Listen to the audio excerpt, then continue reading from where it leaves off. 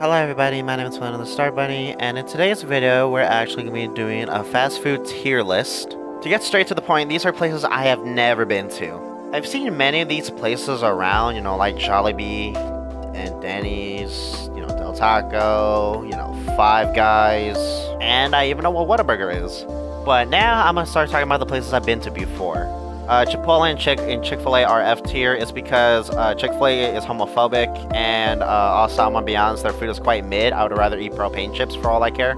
And as Afro Latina, I'm gonna be honest, Chipotle is the biggest piece of shit I have I've ever seen. I swear to God, if you like Chipotle, you are crazy. But anyways, uh, so the reason why KFC is like on the highest of the D tier is because I'm gonna be honest, I only go for the Baja Blast. And the reason why Wendy's is at the very bottom is because all their burgers are pretty much like Minecraft at this point. Have and Pizza Hut are, you know, like they're fine and all, but like honestly, I have better pizzas like anywhere else, like even from like the microwave. I'm off, like all I care. IHOP, um, I'm gonna be honest. Why would I pay for breakfast where I can make my own? All right, something I'm gonna mention about Carl Jr. Even though it's like in the like in the very middle, they do have star-shaped chicken nuggets. So I'm gonna let that slide because I love star-shaped chicken nuggets.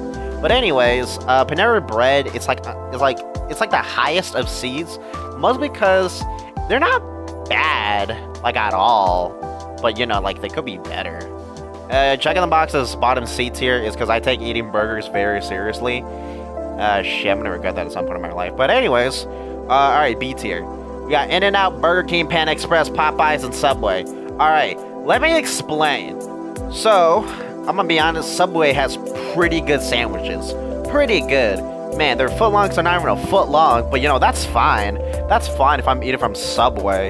You know, I can just waste my money like that. Because why the f not, apparently? Alright, Popeyes. Okay, okay, look at this image, and then look at the bottom one. I want you guys to tell me which one is Popeyes.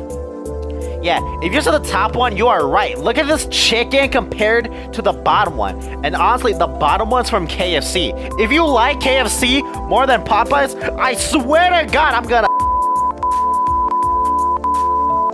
But anyways, Panda Express, I'm gonna be honest, I just... I, am gonna be... A, a, lot of my Asian friends hate Panda Express. I'm gonna be honest, I like it. I think it's pretty decent. You know, they hate it with like, you know, their like whole body. And I'm like, you know what, as Afro Latina, I hate... Like, I hate Chipotle, and like, there's somebody in the world who just so happens like Chipotle more than Mexican food. So, I feel like from that, I feel like I, I, I have no idea how to that. I, it's just something that, that, you know, that I noticed. Alright, so the reason why I put Burger King this high up is because, alright, I've seen, you know, maybe I've heard, you know, a lot of shit talking about Burger King, but I'm gonna be very honest with you guys. Burger King is the cheapest place to get a burger. Like, like, like, I'm not lying. If you use the app, it's like extremely cheap. I use the app almost all the time every time I go to Burger King. Heck, I'm a millionaire in that app. But anyways, Burger King is really cheap. It's really good. I don't know why people complain about it. Like, if you go, you know, you're getting cheap service for cheap food. It's like, duh. In-N-Out, I'm gonna be honest. I like it. The burgers are amazing. The shakes are. Mm. I'm. I'm a, my main problem with this place is their french fries taste like cardboard. I'm gonna be honest. I'm pretty sure everybody can agree that the french fries taste like cardboard. And if you say that the french fries taste good, then I'm gonna be honest, you never had some really good healthy french fries. Like I made my own healthy french fries. There were oh, they were the bomb. I'm like, ah, get my buffy wet. Ah. Okay, but anyways, back to the main point. The main point is it's like like like you can make healthy french fries. So like do it. Taco Bell is A tier. $5 chalupa box. Oh my god. I can't get $5 at McDonald's, bruh. But even though McDonald's is expensive, I'm gonna be honest, McDonald's is pretty good. Shit, I love spending $12 on a meal. Because I can, apparently. Jesus Christ, have you seen the McDonald's prices? Oh, back on topic. All right, so the reason why, um, okay, actually, nah, forget. I'm gonna get on Little Caesar's case in a minute. But I gotta talk about Sonic. Bruh, have you not been to Sonic? Look at their menu. Look how huge it is. I have to edit two squares just to fully show how big their menu is. And it's a fast food joint. What type of fast food restaurant needs this much in their menus? But shit, bruh. I gotta go to get their menu at some point. Just look at these hot dogs. Wieners.